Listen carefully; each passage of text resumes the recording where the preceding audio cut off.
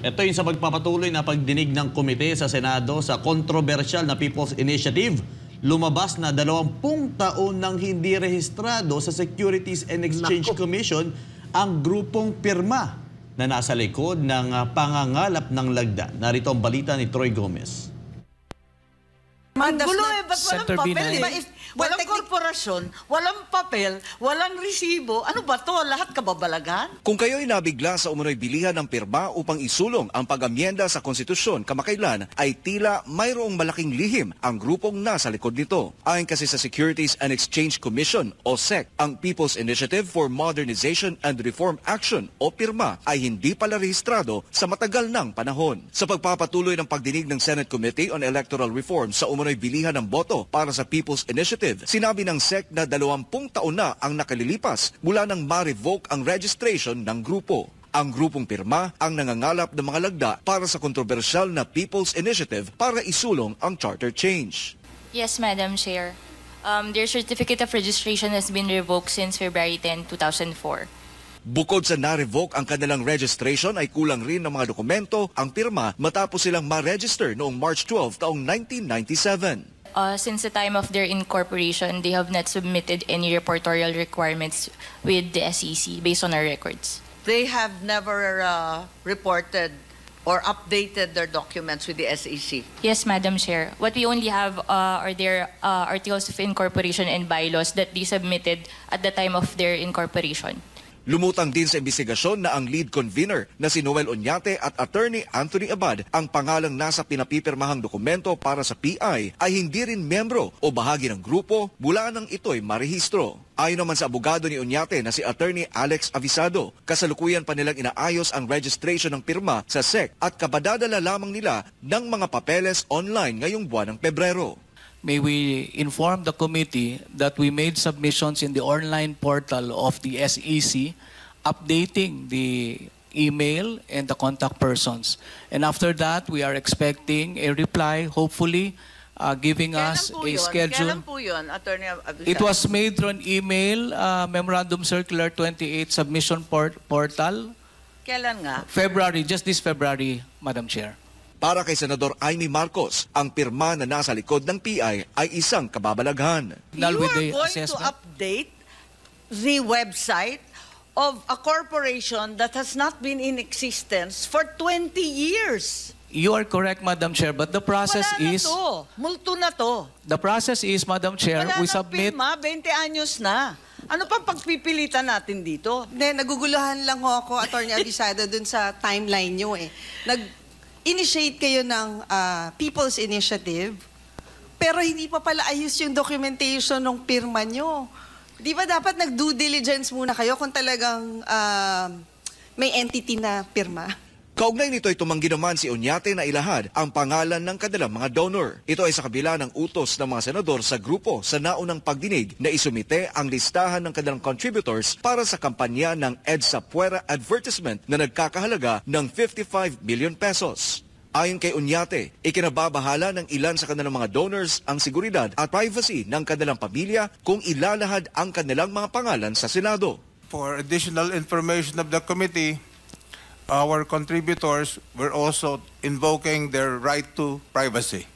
Sinabi naman ng abogado ni Oñate na napilitan ang kanyang kliyente na ibalik ang kontribusyon ng ilang donors matapos silang konsultahin sa paglalahad ng kanilang mga pangalan. As to the submission of the names of the contributors, he indeed sought the consent of his contributors, but unfortunately, they refused to uh, allow him to divulge his names. And that's why uh, Mr. Oñate was unable to continue because what actually happened was he was forced to return their contributions. Sa naunang pagdinig ng komite ay inamin ni Oñate na nakipagtulungan siya kay House Speaker Martin Romualdez upang makuha ang 3% ng signatures sa bawat congressional district. Pero itinanggi naman ni Romualdez ang bilihan ng boto kaugnay sa PI. Para sa Diyos at sa Pilipinas kung mahal, Troy Gomez nag-uulat, SMNI News. At ah, kaugnay, nga, kaugnay nga ka Eric Ma'am Lorraine sa balitang ah, People's Initiative, kinwestiyon sa Senado There's ang, ah, more. There's Yes, more bad news. Yes, My ma'am. God.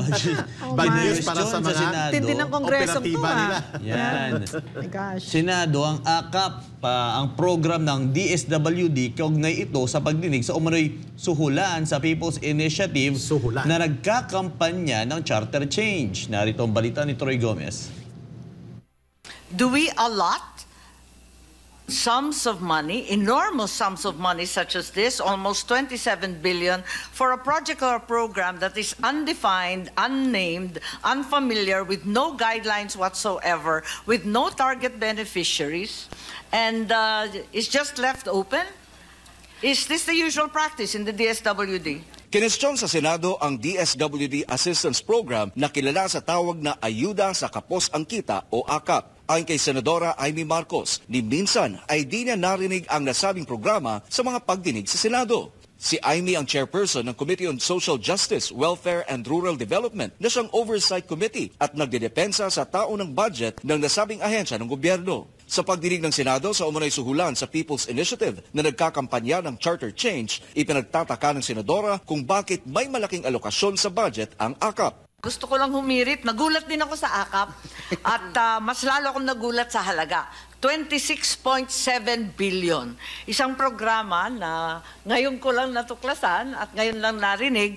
Pero may bilin dito sa text, all soft projects including AKAP must go through the office of the speaker. Si Marcos ang unang nagbunyag ng 20 milyong piso ang inaalok sa bawat congressional district na makapagbibigay ng malaking bilang ng lagda para sa People's Initiative o PI. Ang pera ay kukunin anya mula sa assistance programs ng DSWD, Department of Health at Department of Labor and Employment. Ang AKAP ay isang social program ng pamahalaan sa ilalim ng DSWD na nagbibigay ng one-time 5,000 pesos financial assistance sa mga mahihirap na sumasahod ng mas mababa sa 23,000 pesos. Kinestyon din ni Senador J.V. Ejercito si DSWD Undersecretary Fatima Alia Dimaporo tungkol sa layunin at implementasyon ng AKAP. Ako rin medyo naging curious sa AKAP ngayon ko lang narinig eh. No? Um, siguro can ask DSWD, what is this program about? Uh, is it just between the House and uh, kasi wala ho kami sa Senate na alam niyan eh. So is it with DSWD and the House of Representatives yung program? Maging si Yusek Dimaporo ay inamin rin na hindi siya pamilyar sa AKAP at kulang ng guidelines bukod sa hindi ito isang regular na programa. Para sa Diyos at sa Pilipinas kung mahal, Troy Gomez nag-uulat, SMNI News. Ayun, Yaman mga ng Pilipinas, kababayan, ang, no? la- ang yaman ng Pilipinas, yun, ah. pero napupunta sa bulsa ng mga ganid na politikong may kapangyarihan sa pamahalaan. Number one, nagkakabukingan na. How can there be a program na pinunduhan ng 26.7 billion pesos? Billion na hindi may paliwanag ng agency na pinaglagyan nito. The, the Assistant Secretary and even ang buong agency ng DSWD ay hindi may paliwanag bakit may akap. Anong kaiba nito sa AX? Ito ba ay AX Part 2 o ito ba ay hiwalay? Number two na binanggit doon at hindi nila tinanggi, walang guidelines. Basta ito'y dumaan o idadaan sa mga program na mai-implement sa Office of the Speaker, sabi ni Yes. Senator Amy Marcos. Correct ka, Eric.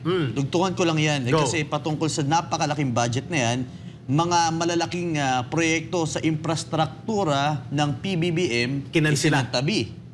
Isinantabi ang PBBM administration. Zero budget ang flagship infrastructure projects ng DPWH sa 2024 General Appropriations Act ayon kay Senator Amy Marcos. Tumutugma ito sa aming gustong ilantad at gustong batikusin ng mamamayan through the laban kasamang bayan. Number one, ang Barangay Development Program na dapat para sa pagpapaunlad at pagpabante ng mga lugar na atrasado sa mga lugar na ginapos ng CPP, NPA, and. The poorest barangays The poorest barangays. in the country. Sa Lit- buong bansa. literally. Yes, na may around 850 na target barangays. Sana for 2024 ay was, was only 10 billion ang proposed budget ng ah, ating pamahalaan through NTF-LCAC for roads, water system, electrification, among others. Kinat po ito ng 6.5 billion. Tinago at inilipat ang pondo at binigyan ng kukurampot na ah, halos tag 2 million na lang ang maiiwan per barangay. Supposedly dapat nasa 10 million sana yon or mga 12 million. Ngayon, para dito sa gimmick at diskarte ng papirma, para hindi halata na namimili sila ng pirma, at nagkakaroon ng bribery, ng korupsyon at mga panunuhol, iginamit pa ang isang program na ngayon lang narinig ng Senado at ng sambayan ng Pilipino kung hindi pa nabulgar sa Senate Committee hearing ni Senator Amy Marcos ang AKAP at pinunduhan ng almost 27 billion.